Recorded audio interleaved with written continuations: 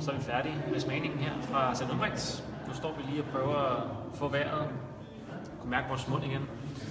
Nu er vi klar til middag om Godt vente to sekunder, der er ikke nogen live endnu.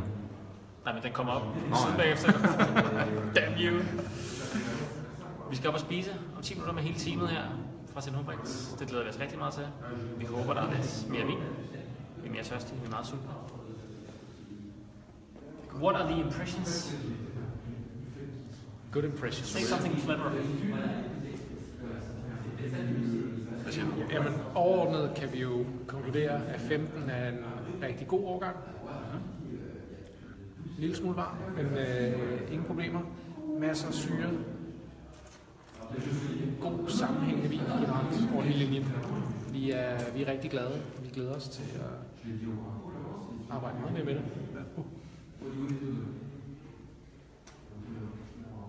Skal jeg også sige noget? Så skal jeg også sige noget klogt. Hvad skal jeg sige? Skal jeg walk you through? Skal vi nævne tre vine? Jeg nævner tre vine. Så vil jeg lige sige, highlight, highlight vores, vores favorites. så vi, vi er meget imponeret af Cindy. Blendet af 60% Chardonnay og resten Savoie. Fremragende, fremragende bakke. Det smager. Bestemt et must buy. Så det er en af dem, vi helt sikkert skal have reserveret en god mængde af med til. Så har vi en uh, Riesling Roche Calcaire, som med sine cirka 8 grams sødme, restsukker, var i særklasse også en vin, som, som vil være, fungere sindssygt godt til restaurant, sindssygt godt i private hjem, fordi det, den har den der lille sødme, som balanceres fuldstændig fantastisk af, af syre. Og det smager rigtig, rigtig godt nu. Ja, og det er nemlig det, der, der er fedt ved Humbringsvin, at øh, syren kan sgu holde i mange år. Og så, øh, så, så Riesling Brandt, ja. kan man også godt, som Ja, jeg kan kan man nu godt. i øvrigt, som, øh, som er en af de mest mere kostbare vine fra, men i særklasse også en af de bedste de bedste vine produceret fra fra Humbring.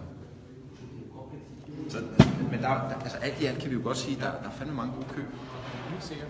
Øhm, Der er også øh, sådan en, en outsider som øh, Clovins Bull Pinot Gris, hvis man er til den lidt funky side.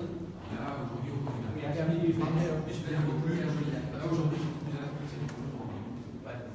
Har vi jo talt om en af St. Humbrichts signaturmarker, hvor man på en eller anden mærkelig måde formår at have en kanonhøj syre, samtidig med, at man kan bibeholde masser af sukker. Det, er altså hele pakken på én gang. Det er ret imponerende. Øh, og her Pinot Gris, der bliver den sådan, er sådan lidt funky med sådan duft af Marc og, og sådan, men helt fantastisk. Kan vi øh, opsummere kort og sige tak for i dag? Vi er glade. Vi er rigtig glade. Vi kan se øh, familien her i baggrunden. Kommer og henter os lige om et øjeblik. Skal vi op og have noget Vi er sultne. alsacisk mad? Ja, det håber vi. Vi aner ikke, hvad vi skal have. ved ikke, skal det var dejligt. Jeg håber, det er burger. Fritter. Godt, godt, godt. Kommer Så længe han, øh, så længe han hiver lidt der. Biodynamisk. Ja. Vi håber, han hiver lidt gammel bil frem fra kælderen. Det kunne være, kunne være dejligt. Nu må vi se. Følg med, følg med på Instagrams billeder. Uh, ja. Uh, ja. Øh, der kommer til at blive lagt op. Hvis, hvis ikke der er nogen billeder, så har vi ikke fået noget ordentligt at drikke. Men øh, jeg tror på, at der kommer noget fornuftigt.